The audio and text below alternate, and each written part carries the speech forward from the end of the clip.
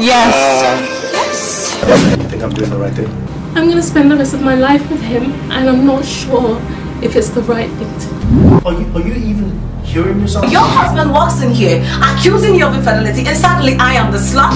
I was wondering if you'd please help me check the tap in my bathtub. I woke up in a new Bugatti. I woke up in a new Bugatti.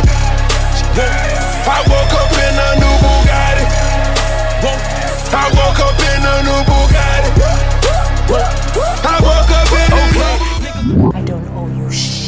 Yes, definitely. It is my husband's 67th birthday, and we had a lot planned. Fuck your emotions. It's over. Yes.